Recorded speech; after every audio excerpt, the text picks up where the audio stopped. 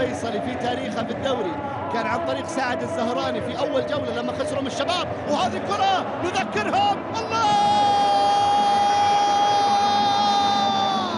عنابي ستير الحصان العنابي! في دوري هذا الموسم إسلام سراج يعلن عن تقدم عنابي.